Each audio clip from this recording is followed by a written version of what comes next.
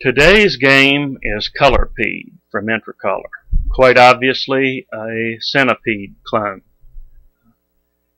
This game was the first game that I bought from a third party, from somebody other than Radio Shack.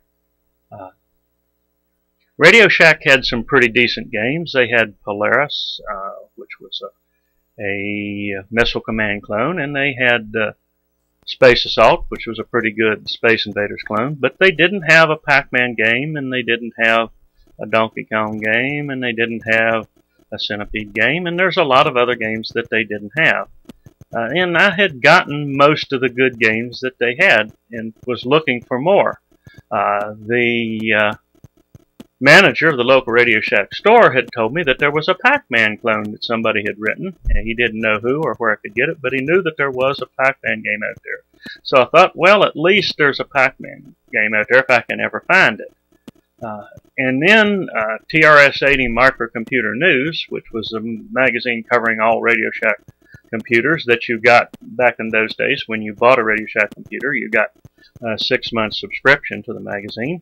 They mentioned Rainbow Magazine that covered the color computer. And so I thought, well, if they cover the color computer, maybe they have some ads, and maybe they'll have an ad for this guy that sold uh, Pac-Man. So uh, or a Pac-Man clone. So I thought, well, hey, you know, maybe I can get a game, uh, at least one game. So I subscribed to Rainbow Magazine, and when the uh, first issue came, uh, I literally spent an hour looking through the ads before I ever started reading anything.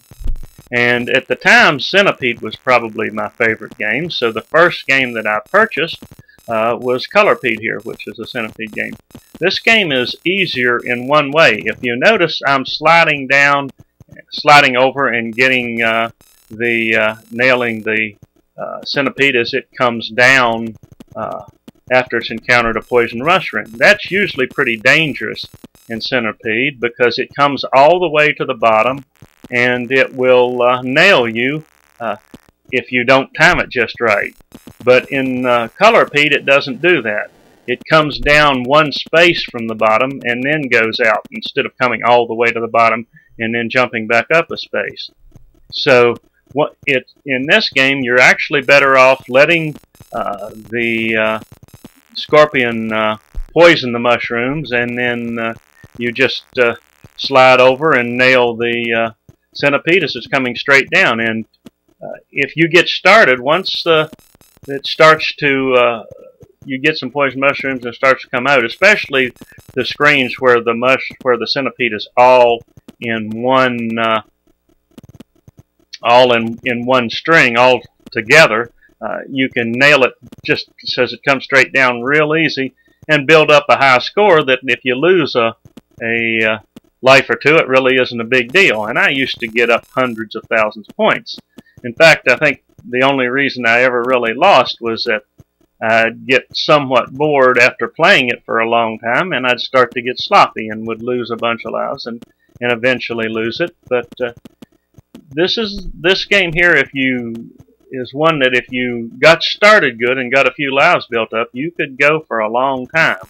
Uh, even here, I haven't played it in a long time, and I'm have last I will have lasted a whole lot more than ten minutes. So uh, I'm not going to uh, play. You know, I'm not going to show the game all the way through till I lose. I'll just uh, show you a little bit more of gameplay and I hope you enjoyed this walkthrough because this game really brings back a lot of fun memories.